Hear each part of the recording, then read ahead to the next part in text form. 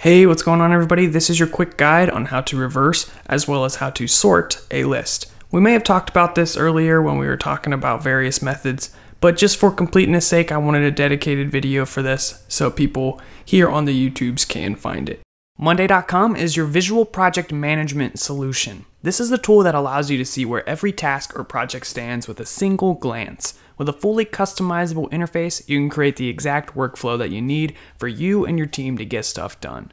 Monday.com is available on mobile and integrates well with some of the most popular tools out there, so get your life in order by giving it a try for free. Link in the description. What are we going to do? First, we should probably have a couple different elements inside of our list. That way we can actually tell if it's working, you know? And we're not going to be writing the algorithms ourselves. We're just going to be using methods that are already made available to us inside of C Sharp. If you want the methods, you can look up binary search or whatever searching algorithm or whatever reversing algorithm you guys want, and you can code that out yourself. You might have to do that for like a computer science class or something. But, you know, this is this is more practical, honestly. You don't actually have to uh, tell it what steps to take to do the sorting or the reversing. You just say sort or reverse. So you just say stuff in this case.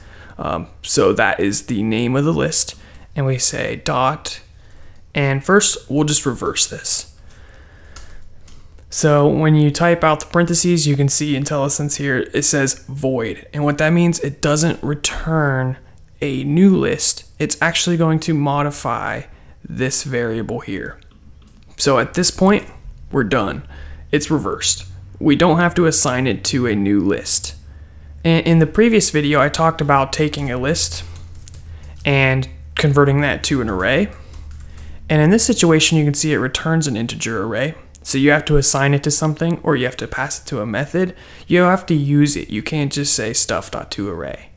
But when, when we have a void method, that's a little bit different because it's not going to return anything. It's going to be doing the processing inside of the method on the actual variable we're calling it on. So just a little background information on, on that.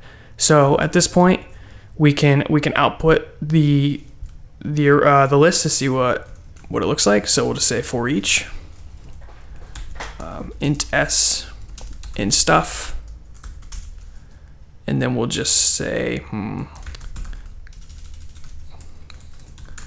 console write line and we'll just pass in s. I forgot to get the terminal ready so here we are we're just changing into this directory and then we can run this with .NET run. And you can see the reverse works. It starts with 50, then it goes to 3, 60, and then 5. So it's going from this end now down to the side. Now the next thing I wanted to do is I wanted to sort this. Now if we sort it here, which is totally fine. There's nothing wrong with sorting it here. It's just that the the reverse here is not going to take effect. So we can just comment that out for a second. When we run this, you can see it's now sorted from least to greatest. If you want to sort it the other way, all you have to do is take the reverse and do it after the sort. So running this, you can see it goes 60, 50, 6, sorry, I can't see, 5, 3.